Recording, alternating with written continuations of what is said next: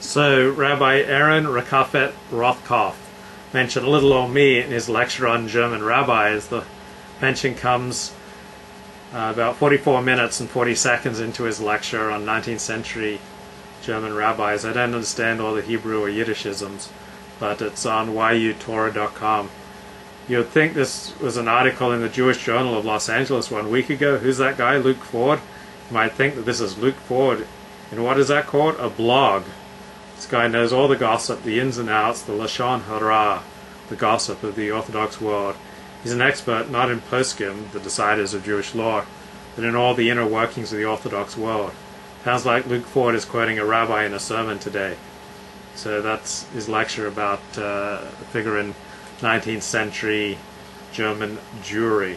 So I, have gone to lectures by Rabbi Rakeffet. He's written books on the Rav, Joseph Ber Soloveitchik.